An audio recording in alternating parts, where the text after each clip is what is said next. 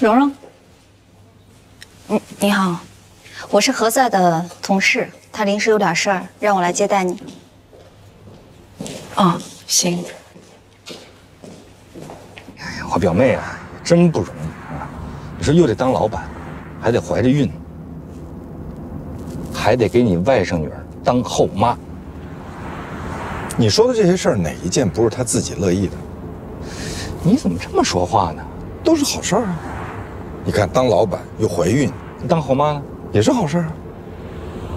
这说明她嫁给了一个她自己喜欢的男人，这多幸福！只不过，这个男人之前有个孩子，对吧？他还多了一个孩子，不是吗？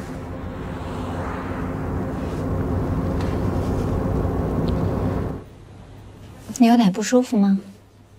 没有，我就是怀孕了，有点累，没事儿。吃点综合果仁，补充一下营养。谢谢，没事儿。那个，我就是想咨询一下，嗯，比如夫妻两个人，如果丈夫没有经过妻子的同意，就把钱给了另一个女人，那我作为妻子，我有权利把这个钱要回来吗？只要是你们的共同财产，当然有权利要回来了。不是我们的共同财产，是我自己挣的，我的个人积蓄。如果是你婚前的存款，算作你个人的财产；如果是你婚后的积蓄，那就算作共同财产。不过，就算是共同财产，你丈夫也没有权利随便想给谁花就给谁花，他必须要经过你的同意。那如果这个事儿现在已经发生了，就是他现在已经把钱转给了另一个女人，那我还有权利要回来吗？能，除非你有证据。那怎么样呢？起诉？不是，蓝律师，是这样的，我丈夫他是一个特别特别好的人，我们俩感情也特别好，但是他这个人就是心太软。他跟他前妻离婚的时候，他是净身出户，他把所有的钱都给了他前妻，但是他前妻还老来找他要钱，孩子上学要钱，上补习班要钱，上夏令营也要钱。我觉得这些算是孩子的抚养费，给了也就给了，我也不想多说什么。但是前一段时间，她又找我丈夫要了一大笔钱，说要买房子，这可我就不能忍了吧？买房子？对呀。你别不说话呀！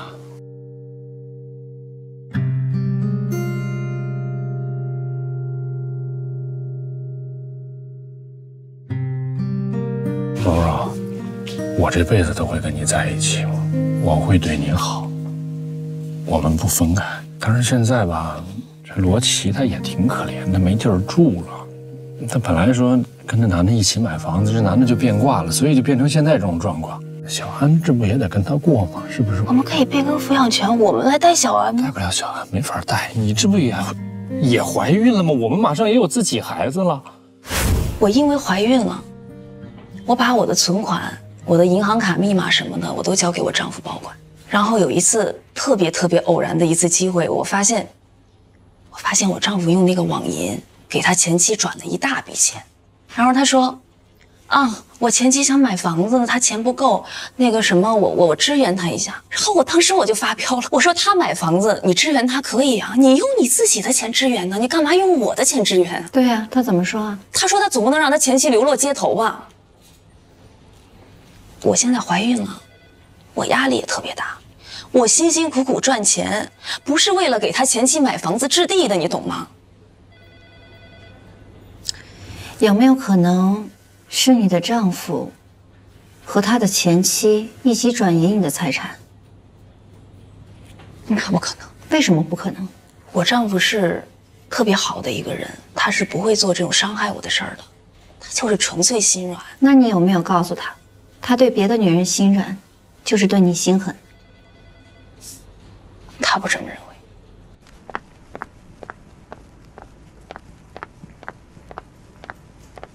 姐。你找我？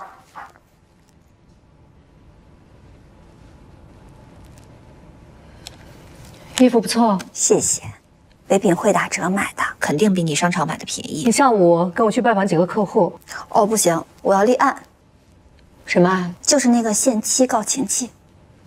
就是那个蓉蓉告罗琦。嗯，哎，你知不知道罗琦是罗宾的姐姐呢？现在知道了，那还要告吗？不是我告，是我的当事人要告，我是律师。我亲爱的妹妹，那你为什么就一定要做他的律师，接他的案子呢？那我已经接了呀，诚心跟我对着干是吧？为什么每次我不听你的话，你总是觉得我故意跟你对着干呢？那你为什么要不听我的话呢？那你也不是每次都听我的呀。你不听我的时候，我也不会生气，也不会觉得你跟我对着干呀。翅膀真是长硬了。出去。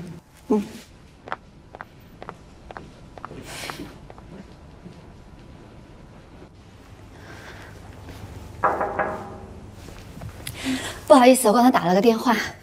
你是想接案子想疯了吧？是不是没官司打呀？平时我只是一个律师，我并不想打官司。如果您可以把财产退回来的话，我可以建议我的当事人撤诉。我劝你劝你的当事人赶紧撤诉吧。如果搞不定的话，这件事情很有可能影响他们夫妻间的感情。如果到时候再不巧打个离婚官司，那就活成笑话。我不介意多打一个离婚的官司，我也不介意多接一个离婚的案件。其实，我的当事人第一次来找我的时候，我已经这样劝过他了。哎兰兰，我觉得你这样做不大好。咱俩是一个律所的吧？根据利益冲突的原则，我既然代理了原告方，你就不能代理被告方。我没有代理，我只不过是作为罗琦姐姐的朋友，我这么说而已。作为朋友，你应该给你的罗琦姐姐尽到普法的义务。可是并没有哪条法律规定说丈夫给自己的前妻买房，这是违法的。这个案件已经很明显了，季玉给罗琦买房的购房款是季玉和我的当事人蓉蓉小姐他们夫妻共有财产，但是季玉并没有通过蓉蓉女士的同意赠与了罗琦女士购房款，侵犯了其合法妻子蓉蓉女士的财产权。法律规定，生父生母对孩子理应承担所有的生活费和教育费，以保证孩子的健康成长。可是法律并没有任何一条规定前夫有给前妻买房的义务，那如果季玉先生认为这笔费用是孩子的抚养费呢？这是购房费，这不是抚养费。我也提醒你，这笔费用的性质它就是抚养费，只不过罗琦女士是拿这笔钱去购了房产而已，这也是为了保障子女的健康成长啊，完全合法。一个父亲给孩子抚养费，这是天经地义的。如果他老婆觉得有问题，应该问他老公啊。嗯，问得着我吗？可是你拿这笔钱去买房了，这就是购房费。抚养费。再见。再见。哟，对不起，你们先走，我接个电话。喂，我是，嗯，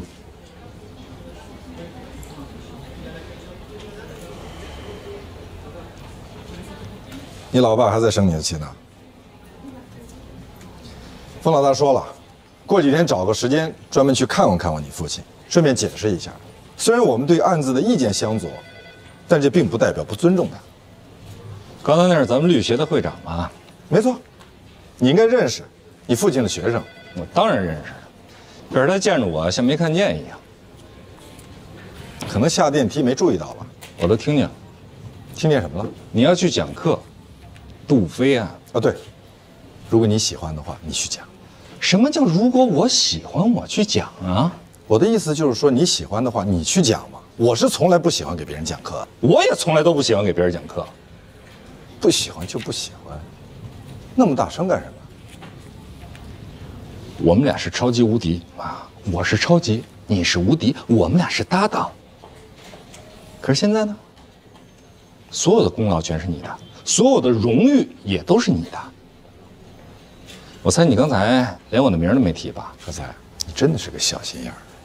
你猜错了，我提了，我不光提了你，我还提了黛西。对，这就是你贬低我的方式。你不拿我跟你相提并论，你拿我跟你的助理相提并论。看看几点了？你迟到了，如果你准时到的话，你就会在场，你可以当面向领导汇报工作。可是你呢？利用上班的时间去买水果做的水，你别占了便宜又卖乖啊！我占什么便宜了？哎呀，你好无辜啊！你无辜的就像水果水一样。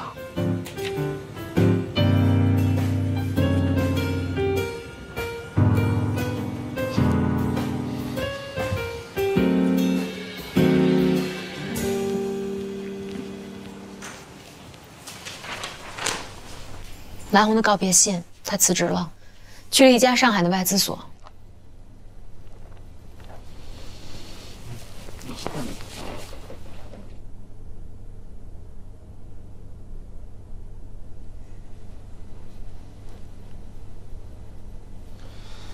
还有什么事儿吗？季玉，他可能要找你麻烦。怎么了？他找你了？什么事儿？他没跟我说什么事儿，但是你有什么话能不能直说？罗琦又不让他看孩子了，而且可能要终止他的探望权。为什么？因为季玉要当爹了吗？要我说，这次不是罗琦的错，是蓉蓉开的第一枪。蓉蓉，蓉蓉把罗琦给告了。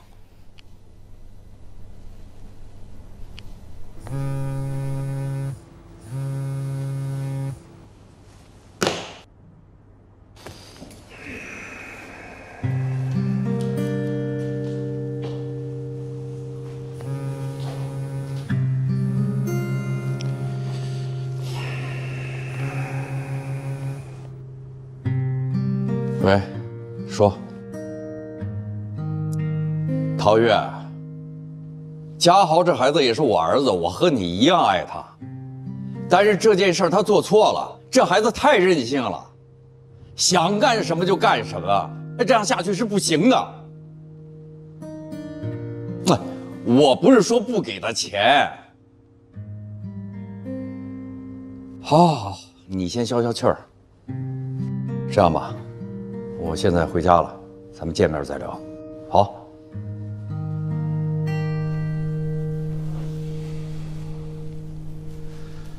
琳娜，发生了这么多事情，你为什么都不告诉我呢？第一，你一直在忙杜飞案，忙到飞起。你太夸张了。如果你想告诉我，发个微信都可以跟我说一声。很多人都知道这件事情，不止我一个人。何塞也知道，为什么他就可以不告诉你呢？何塞不告诉我，当然可以理解。蓉蓉是他表妹，那我不告诉你，你应该也可以理解。蓉蓉的代理律师是兰兰，兰兰是蓝红的亲妹妹。如果是我告诉你的话，你也会觉得我在挑事儿。琳娜，我们之间最基础的信任总该是有的。是的，我们以前是有这种基础的信任，但是自从蓝红来了之后。只要我提跟他沾边的事儿，你就觉得我是故意针对蓝红。你甚至还警告过我说，让我不要挑拨你和蓝红之间的关系。你用“警告”这个词也太夸张了，一点都不夸张。不光我这么觉得，大家都有这种感觉。什么感觉？只要跟蓝红沾边的事儿，没有人愿意掺和。为什么没有人告诉你，你前女友辞职了？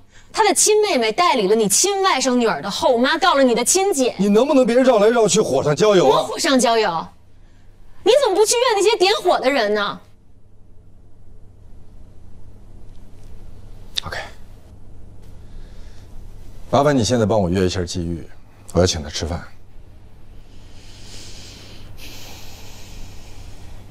他要是不愿意来呢？你会有办法的。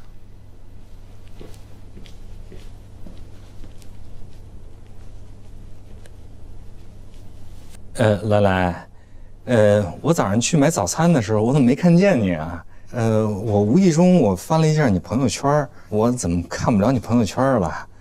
是不是你把我给屏蔽了？呃，我给你买了那个燃力的那个手工面包了，要不我给你送过去好不好？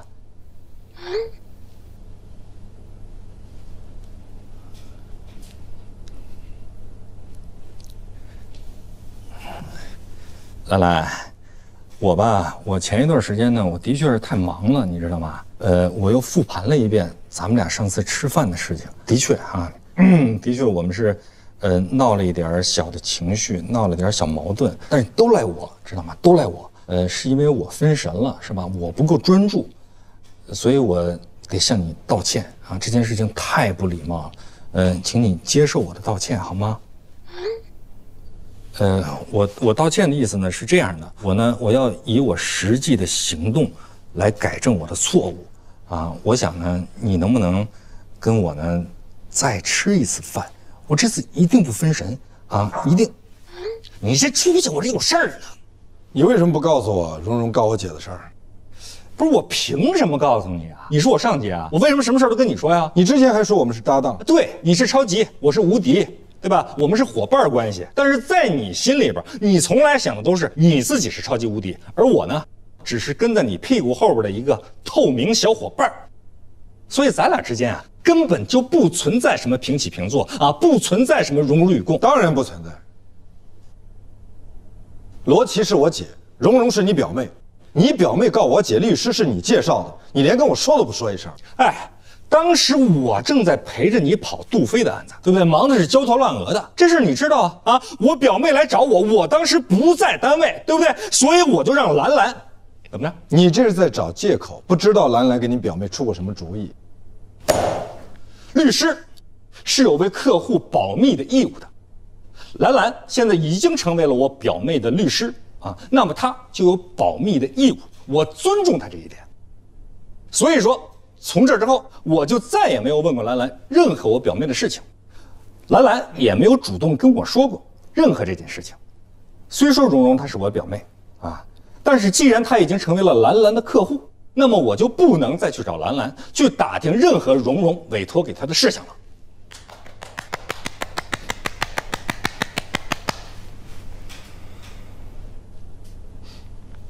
你可能觉得蓉蓉是你的客户，你要维护你当事人的权益，但是我告诉你，你太年轻了。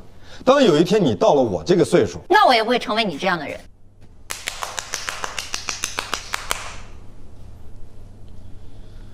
我哪儿得罪你了吗？你没得罪我，但我看不惯你欺负人。我欺负谁了？我欺负你了吗？你一直都在欺负我。你找人告了我姐，我来问问你怎么回事，这就叫欺负你。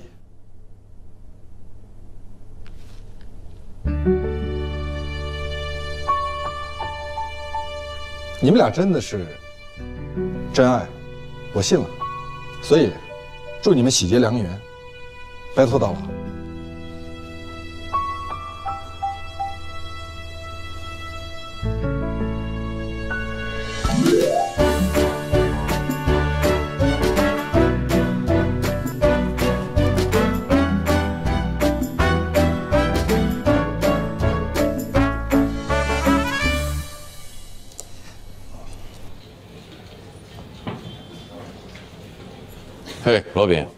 我家里有点事我先走了啊。那今天还回来吗？有事吗？有一些报销单需要您签个字。哦，儿子说吧。哦，对了，蓝红跟你说了吧？他说他走了，他把他那客户都给你了。好，走了。他儿子，他儿子，他儿子怎么了？不是一直在国外读书吗？说是在国外读书，其实啊，一直用他老爹给他上学的钱在干别的事情。真不省心，封印都快气疯了。那陶月知道吗？知道有什么用啊？知道这也是亲生儿子，用的也是亲爹亲妈的钱，总能告他是诈骗吧？也不能送公安局去。黛西去哪儿了？他在楼下咖啡馆办公呢。为什么去楼下咖啡馆办公？因为你不让他在律所里提供无偿法律咨询啊。